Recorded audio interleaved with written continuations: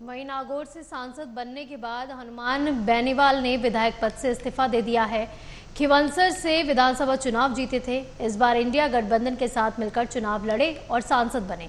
आज विधानसभा में स्पीकर वासुदेव देवनानी को उन्होंने अपना इस्तीफा सौंप दिया है। मीडिया से रूबरू होते हुए उन्होंने कहा कि वो विधानसभा को मिस करेंगे।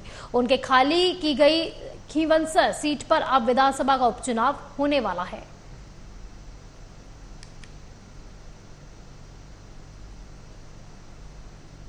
आदमी लोकसभा का विधानसभा के सदस्य साथ रहना चाहिए। ये इस बार कोशिश करेंगे कि ऐसा विधानसभा के सदस्य भी रहे लोकसभा का भी रहे। बार बार चुनाव होना, फिर कराना, ये होना चाहिए। जिस तरह राज्यसभा लोकसभा के अंदर, राज्यसभा से चुनाव हुआ व्यक्ति लोकसभा के अंदर बैठता है और लोकसभा से चुना हुआ व्यक्ति मंत्रिमंडल राज्यसभा में जा सकता है। तो वो भी दोनों सदन के अंदर जाते हैं, मिनिस्टर जाते हैं।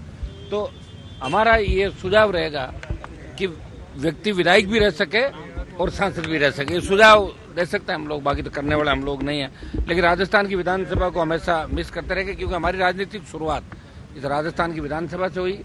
और आज चूँकि इस्तीफा मुझे देना था, कल 19 अंतिम दिन है तो आज मैंने नियम समिति की जो बैठक थी उसमें पहले भाग लिया।